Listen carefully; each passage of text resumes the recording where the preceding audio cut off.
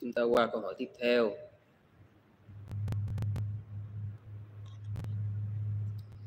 Và trong kinh có nói gì về hiện tượng chư thiên xuất hiện không sư? Ví như trời có mây ngũ sắc có ánh sáng phát ra. À, xin thưa là có có nhiều nữa là đằng khác. À, được gọi là chiếu sáng cả một góc trời đó. Có nhưng mà đó là chuyện hồi xưa à, khi mà chư thánh còn nhiều loài người còn biết sống thiện có liêm sĩ à, còn khi mà loài người sống ác nhiều á, chư thiên họ ẩn hết à.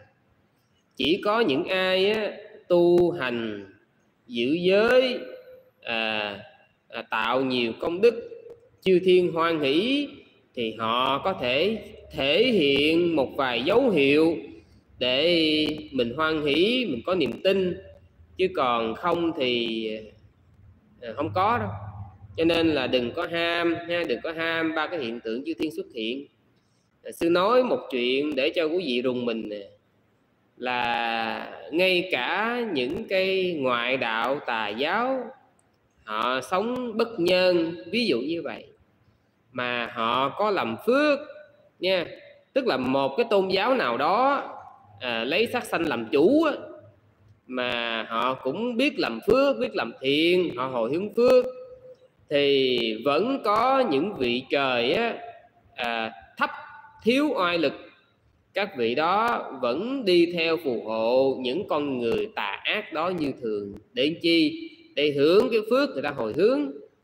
Nó giống như á, là cái người mà người ta cho tiền á, mình á, thì cái người mà có um, có liêm sĩ á, thì mình coi à, cái người người ta cho tiền á à, họ có à, cái người đó họ có ác không?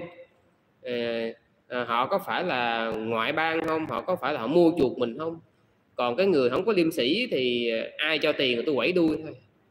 À, thì nó khác. Cho nên á tại sao sư nói cái này?